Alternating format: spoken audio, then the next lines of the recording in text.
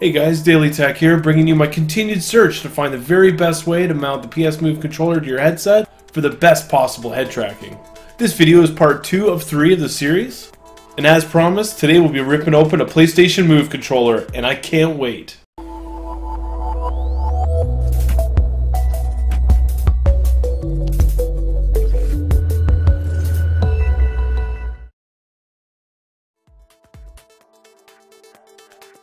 So in my previous video, we explored a few different ways we can mount the controller to the headset and get a little bit better tracking.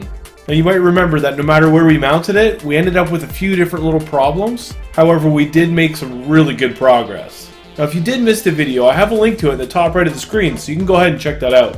But for now, let's get tearing this thing open and seeing how it ticks. Okay, so here's a look at the controller. Now you'll notice that there's four screws on the back that you can undo.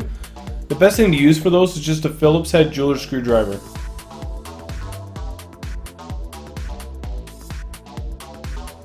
So let's go ahead and pull all four of those out.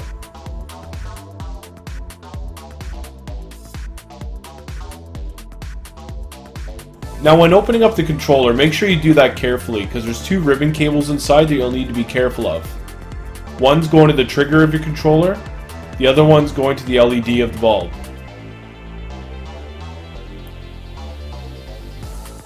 We'll need to disconnect the one that's going to the trigger.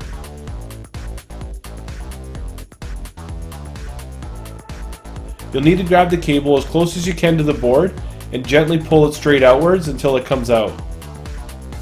You'll also notice that the bulb is going to be pretty loose at this point, so you might as well just pop that off and put it off to the side. Once the trigger part of the controller is off, go ahead and put that off to the side as well. Now what we'll do is put the bulb back onto the LED and find a good spot to mount it.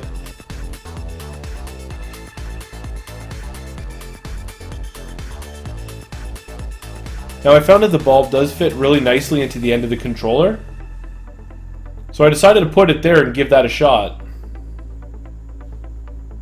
Now looking at the headset, I was thinking about laying it across the front again to see if that would work, but I remember it rolling around too much, and I didn't want that to happen, especially with the controller open like this. So I decided to go back to the vertical way that we had before. But I figured that now this time the bulb is sticking straight up, so it'll have a much better view. So let's fire up out of ammo again and give it a shot. So just to hold the bulb there temporarily, I wrapped it in some electrical tape just so I could test it out. So let's grab the rifle again and see what we can do.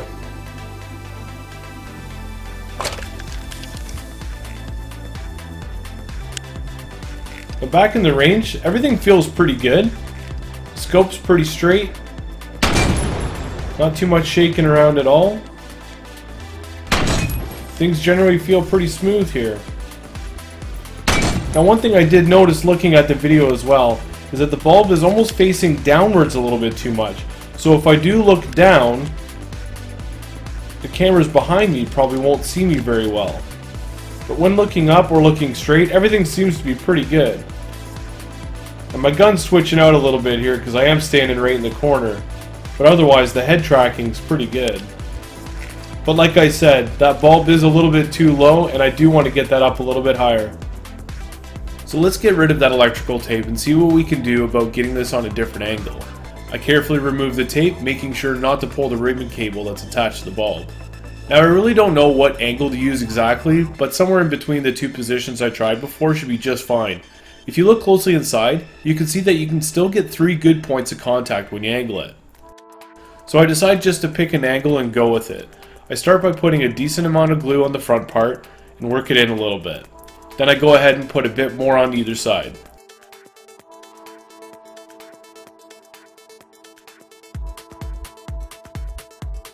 Then I just give it a bit of time so it can set. Next, I decide I want to reinforce it a little bit more, so I get myself a toothpick and cut off one of the sharp ends. From there, position the toothpick along the front to hold the angle on the bulb, and hot glue it to the bottom. I give it a sec to dry a little bit, and then once it's set, I cut the top of the toothpick off to the proper size and glue that as well. I'll also add just a bit more glue to both points to make sure it holds properly.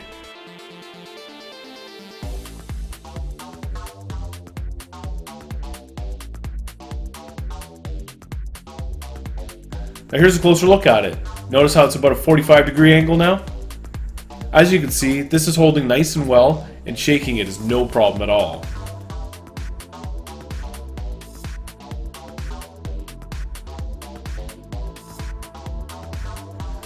I now notice that the battery is loose in there, so I decide to wrap a piece of tape around it to make sure it doesn't fall out while playing.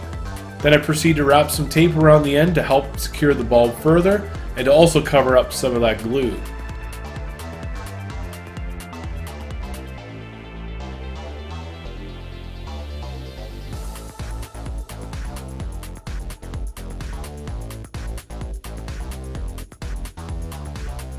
I also decided to put some tape over the toothpick because although it serves a good purpose, it looks a bit ridiculous. Now I'm optimistic. Let's try this one more time. Alright, so I got the controller strapped back to my head. We're back into the game now, and let's go grab that gun and see how it looks. Now the aiming again is pretty smooth, just as I expected. And hitting the targets is not so bad except for my crappy aiming. Also looking at the video too, I can see that the bulb is in plain view at all times in the camera. So I think this one's a winner.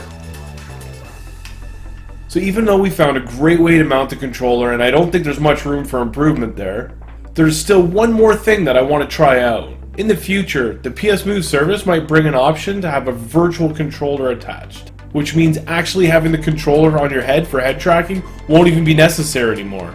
For this reason, I'm going to try to get the PS Move service to track this ping pong ball.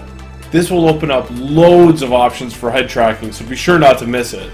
Now I should be getting the LED that I need to get this done in the mail over the next couple weeks, so be sure to keep an eye out for part 3 of the series. In the meantime, thanks for watching, and we'll see you next time.